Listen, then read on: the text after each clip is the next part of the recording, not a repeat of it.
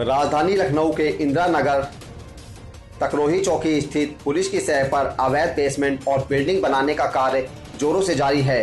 हालाँकि इसकी सूचना पहले भी थाने को दी जा चुकी है, लेकिन अभी तक कार्य को नहीं रुकवाया गया है। इस संदर्भ में एलडीए बीसी से भी बात हुई। उन्होंने कार्य रुकवाने का आश्वासन तो दिया, हालाँकि एलडीए से नक्शा तक अभी पास नहीं हुआ। फिर भी सत्ता के लोग करा रहे हैं अपनी दबंगई के बल पर अवैध बेसमेंट और बिल्डिंग का निर्माण।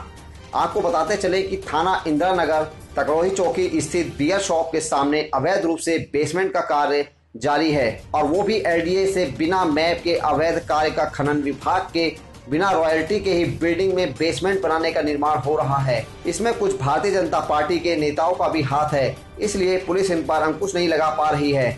गुड्डू नामक व्यक्ति ने अवैध रूप से बिल्डिंग का मटेरियल भी घटिया किस्म का लगाया है।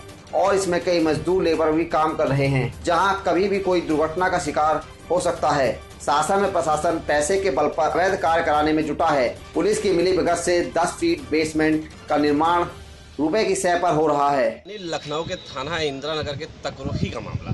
बियर साहब की दुकान के सामने ही अवैध रूप से बेसमेंट का हो रहा है निर्माण। यहाँ पे एलडीए की ना तो नक्शा है, ना यहाँ पे जो है रियल्टी पास है। फिर भी अवैध खनन के रूप में बेसमेंट करीब 10 फीट तक गहरे तक खोद दिया गया है। शासन और प्रशासन को पैसे के बल पर अवैध खनन जारी और बिल्डिंग का हो रहा है निर्माण।